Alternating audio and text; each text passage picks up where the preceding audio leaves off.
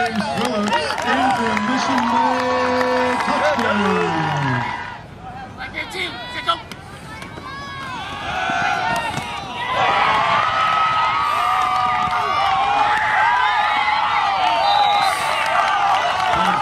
22nd, 22nd.